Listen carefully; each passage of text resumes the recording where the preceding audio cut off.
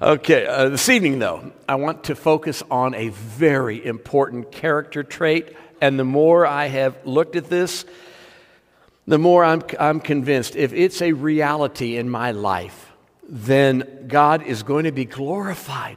There's going to be, there's going to be wonder among the lost. And that's not an overstatement. Uh, uh, lost people are going to say, Wow, uh, you don't see that very often. And there's going to be glory brought to the Lord. There's going to be a blessing brought to other believers if I have this character principle active in my life. Conversely, if it's not present in my life, not present in your life, time and time again, the Lord will not be honored uh, because of how I act or react, and it will bring problems in my life. The characteristic is carefulness. Carefulness. And I want us to look at James chapter 1, uh, just one verse, really pretty brief uh, message. Have you ever heard shorter, more brief uh, preaching in your life than this morning? Well, tonight it's going to be a repeat uh, in length. I'm not known for that particularly, but uh, just, just how the cards uh, play, I guess, today. The characteristic of carefulness. Now, when I say carefulness, I want to give some disclaimers first. I absolutely am not saying cautiousness. I'm not saying live out your Christian life cautiously. That is, uh, in, with timidity and fear and making sure everything looks just fine before I take a step forward. Because after all, the bridge might be out ahead. Yeah, that's right. The bridge might be out ahead. Be careful, but don't live cautiously because cautiously suggests that one is walking by sight and uh, not willing to step out in faith for fear that something might happen. Uh, it might be why you don't go to the dentist. You don't want to hear any bad news. You're going to be hyper cautious and not go. Of course, you go to the dentist. I know that, but um, just by way of illustration. Um, so it's not cautiousness, nor is it walking with a calculating spirit. That is, when I face a situation in life, I have to make sure that it's going to be beneficial to me, and I need to calculate that before I will enter in, okay? Uh, I've never taught a Sunday school class before, I've never led an Awana group, uh, but I'm being asked to. Therefore, what is the upside for me? How am I going to realize some benefit in that? Uh, or the cautiousness, no, I've never done this before, I might fail, uh, therefore I'm not going to do it. Don't be cautious. Don't be calculating in your Christian life, but do, in fact, be careful. What does that mean? Well, let's look at James 1 and verse 19, if you will. Arguably, uh, one of the most practical boots to the uh, uh, uh shoe leather to the pavement books in all of Scripture is the book of James. James 1 and verse 19. Wherefore, my beloved brethren, let every man be swift to hear, slow to speak, slow to wrath. Um, Daniel, Shadrach, Meshach, and Abednego were all very much like this. this they were careful. They were not cautious.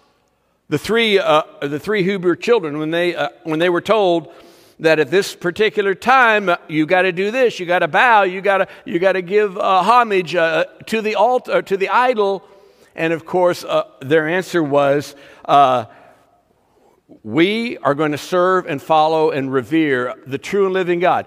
King, you might do what you're going to do. We're not going to be cautious. We're not going to be calculating, but we are going to be careful. That is, we are going to live a life which is proper uh, in the eyes of God and man. And, and uh, maybe this will help. And, and I've, I, read, I read this definition somewhere, or, or I developed it somewhere. Somewhere I got this, and I want to share it with you, and it's this. As soon as it will advance, and it's probably me that's not letting it advance. Guys, I'm not advancing. It's not my fault this time. I'm not throwing myself under the bus. Help me out. There we go. Nope. I don't know. Bring, bring up that, uh, that uh, definition if you would. Uh, but carefulness has been defined as following the principles of wisdom from the Bible instead of acting and reacting as I want. walking uh, in carefulness is really uh, nothing more or less than walking in biblical wisdom. And so uh, I, I want to look at these, uh, these, this verse, this one verse, um, and kind of break it apart. It, uh, it really reminds me of the song, Oh, Be Careful, Little Eyes, What You See. Oh, be careful, little ears, what you hear. Oh, be careful, little feet, where you go. Oh, be careful, little mouth, what you say, for the Father up above is looking down in love. Don't be cautious. Don't be calculating. But yes, be careful as you walk through life. Now, look at, let's tear apart verse 19. Now, and we're just going just going to be in verse 19 uh, uh, primarily, other than reading a little bit elsewhere. Uh, but verse 19, the very first part of that has the very important verb phrase that says, Wherefore, my beloved brethren, let every man be.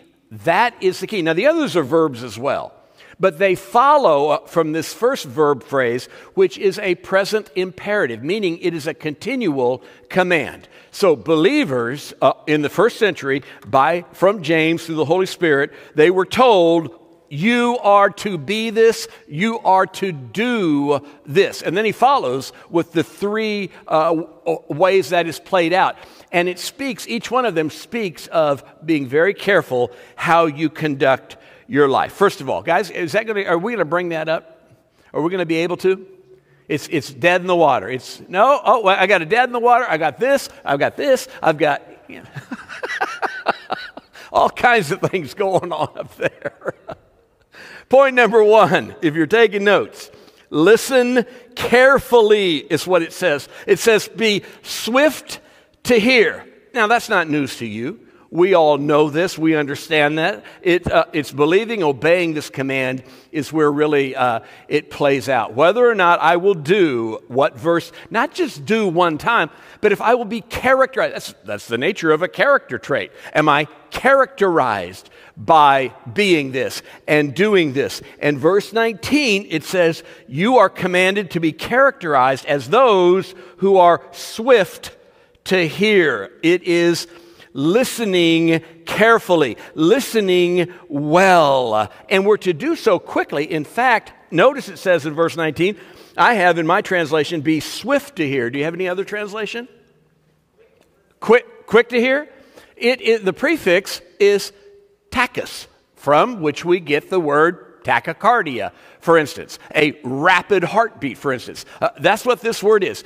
Be one who rapidly runs to hear, to listen, to be attentive to what is being communicated to you um, in, in any given context. I tell you, when my, when my kids were young, even preschoolers, uh, we would do listening drills where I would send one of them, maybe the three year old or the four year old or whoever, whichever one it was, uh, off to another room. And I'd say, okay, uh, uh and, and we, we made it a game and we say, let's see who is the best listener uh, of, the, of, of, you children, who is growing in listening. Of course, they had different ages, uh, and so you're going to have you're going to take that into consideration with maturity. But uh, Susie was four years old, and she'd be uh, in another room. I say, Susie, come walking backwards to daddy, and halfway do three backward somersaults and one cartwheel. Ready, go, and she would be off. Now you see that being fun for a four year old, don't you? But that's discipleship. That is being quick to listen and, uh, and then uh, to obey and follow accordingly, paying strict attention, uh, understanding uh, what was said and what is uh, the need of the hour. Now, I tell you, uh, with God as my witness, I said as recently as last evening, I said, Lord, I am committed in a fresh and a new way. Um, not only have I been reminded of this command from, from the text, I am committed to be to purpose, intentionally be more disciplined at this. I want my listening uh, to take off with a rapid beat. I want to be characterized by that. And folks, I need this. I'm telling you, uh, with, uh, again, with God as my witness, being saved 47 years, I've been working on this for 47 years. I'm quick to speak and not always quick to listen. Some of you know that about me, and that's just the, the fact of the matter. Some, uh, some of you are, are just naturally, seemingly, very good listeners, and uh, uh, you're, you're not rash. You know, about 40 years ago, I bought a house one time without telling my wife. Now, that is rash. you're not, you're, not being, you're not being quick to hear when you do something like that. I'm not proud of it. It's just the, the fact, uh, fact of the matter. Actually, I think it's, it's, more like 45 years ago. I'll give myself a little bit more uh, uh, of, a, of an immature state when I did that. I'm growing in this area, but I am far, and this is not feigned humility, far from arriving. I was reminded again, even today, that I was not as quick to hear as what I wish I would have been. Now, it did not cause a train wreck. It wasn't any kind of a disaster. In fact, I don't even think the person perceived that I was not following this, but I knew it. You know how the, the Lord lets you know when you're not following one of his commands? Anybody get uh, uh, identify with this? Uh, and so I'm telling you, with God as my witness, I am wanting and desiring and committed intentionally to be uh, the new and improved, swift to hear. Listen carefully. Amen? That's a command. Uh, we can't get around it. Secondly, you'll notice in your text speak carefully, not only swift to hear, but slow to speak. Slow to speak. Um, once something is said, it can't be taken back. And so, if you are listening carefully, then that will allow you and it will help you to, to fulfill the second part of that command to speak very carefully. I've, I've said many times I'm usually not sorry for what I don't say. When I'm sorry, it's for what something that I do say, and I haven't done it carefully. Uh, now, how can one speak carefully? By thinking first, uh, by listening, uh, and, the, and the like. Um, so you are to think, you are to process what you're going to say ahead of time. Now, it's interesting. This is the exact opposite prefix as the listen was. The listen was, you're off to the races. Tachy, tachus. This is bradus, like bradycardia. It's a very, very slow heartbeat, extremely slow heartbeat, even. That's the word here. Let your speaking, let your response be so slow that you will not have a regret uh, for having said what you said. You truly will own your words because you were that careful in what you were communicating. Practical, isn't it? This is, this is, this is uh, God's Word, Christian Living 101. And when people uh, in the workplace and in your family and on and on see you listening intentionally, taking in uh, what is coming your way that was intended for you, chewing on it, processing on it slowly before speaking, my, are you going to wow the crowd? That's not your motive, that's not your intent, but it will be noticeable because you're not blasting. You're not just acting out, and not, nor would I be when I am following this command. Now, if you'll notice also in uh, this same book, look at still in chapter 1, Look in verse 26, just a few uh, ver- uh, verses down. If any man among you seem to be religious, those of you who, who, who, uh, who want to truly have model piety, but you don't bridle your tongue, but deceiveth his own heart, this man's religion is vain. And so that's how much stock is put in what one says. What you say really reveals who you are. It truly uh, reveals either uh, ignorance uh, or indifference or irreverence or, uh, or it reveals that you have truly, in a God fearing way, sought to respond uh, in a way which is proper and, uh, and God honoring to those who hear it. It says in um, Proverbs 17 28, even a fool, when he holds his peace, is counted wise, and he that shuts his lips is esteemed as a man of understanding. That is, a, that one who doesn't just blurt out something, but really carefully analyzes it. That fool is thought wise uh, because it is so seldom seen in this world. Proverbs 29 20. Seest thou a man that is hasty in his words or, or, or rash or unthinking? There is more hope for a fool than of him. And so when this command is violated, uh, when you are not slow to speak, uh, you create difficulties for self. Uh, you hurt others, you wound others, you, uh, you have to go and make it right.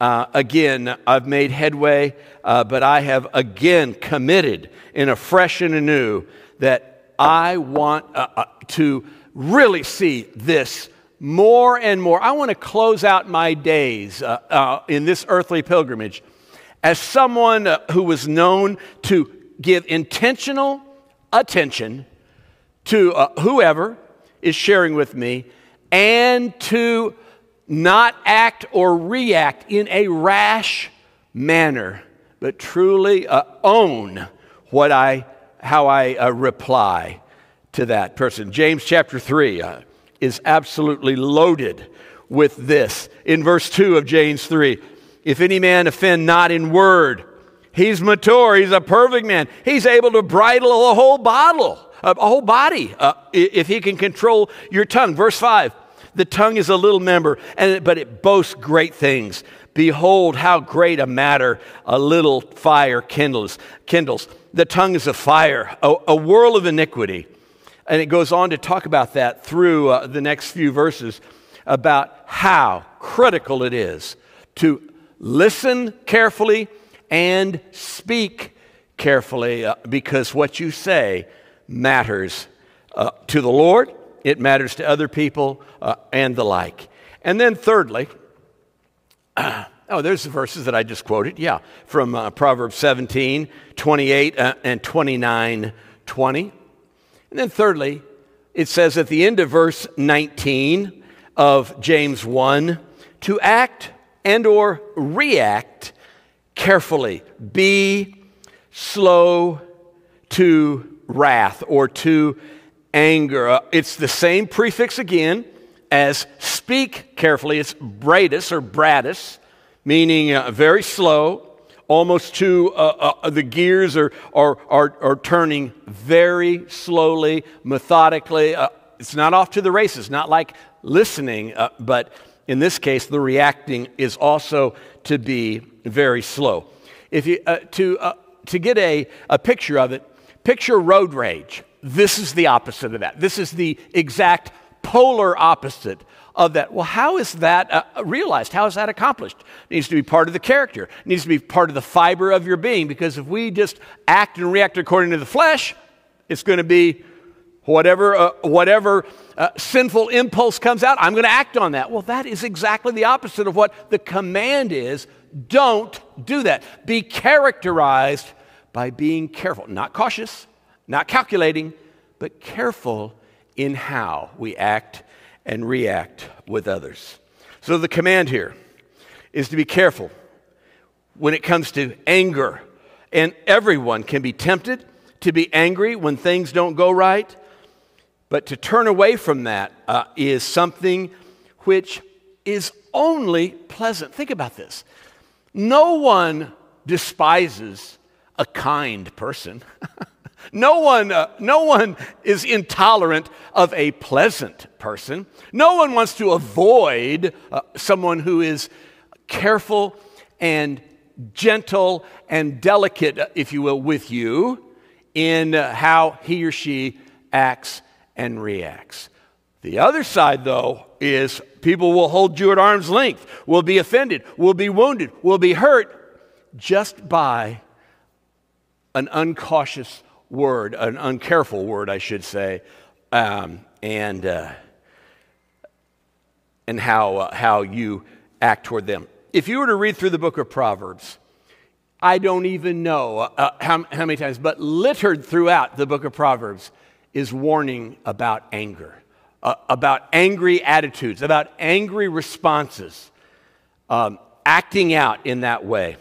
It causes problems, it wounds people, it dishonors the Lord, and it doesn't prove to be a blessing in your life either. Uh, I know that when I have that, when I have that temptation, I am always convicted, always.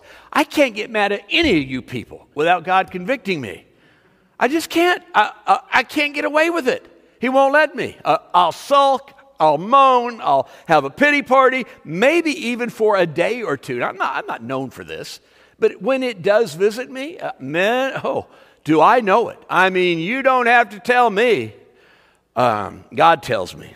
And so, this single command lived out in these three ways listen carefully, speak carefully, act and react carefully.